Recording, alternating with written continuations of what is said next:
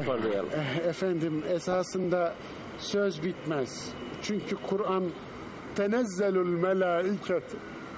Melaike Kur'an'ı indirmeye devam ediyor. Manasını, hakikatlerini. Manasını. Eyvallah. Dolayısıyla Kur'ani hakikatlerden bir nebze Manefidet kelimatullah değil mi hocam? Eyvallah. Aynen öyle. Aynen öyle. rabbi. Denizler biter, ağaçlar biter, Allah'ın kelamı. kelimatı bitmez. Evet.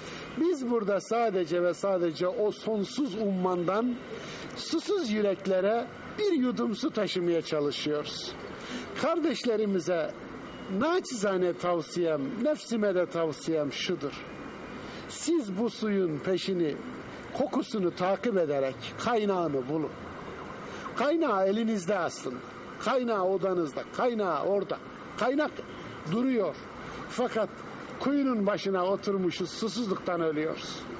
Sofranın başına oturmuşuz, açlıktan ölüyoruz. Bu reva mıdır Allah aşkına? Bize esasında Ramazanlar Kur'an'ın doğum ayı olduğu için Ramazandır. Ramazan'ı bize Kur'an hediye etti. Evet. Kur'an'ı Ramazan değil unutmayalım.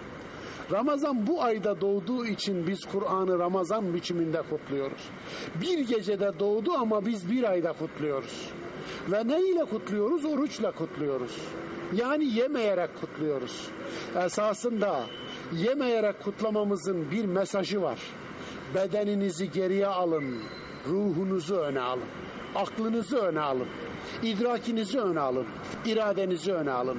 Yani ey insan ölmeyen tarafını öne, ölen tarafını arkaya al.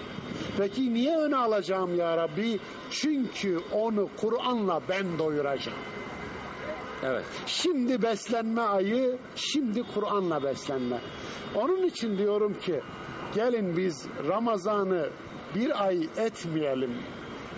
Ömrü Ramazan edelim. Ki- Ömrü Ramazan olanın ahireti bayram. Evet. İnşallah. Çok teşekkür ediyorum değerli hocam. Kıymetli kardeşlerim ezan okunuyor. Hepinize hayırlı makbul ibadetlerle dolu bir ömür diliyorum. Vahiy ile barışan, vahiy yaşayan insanlar olmamızı Rabbimden niyaz ediyorum. Allah'a emanet olun sevgili kardeşlerim.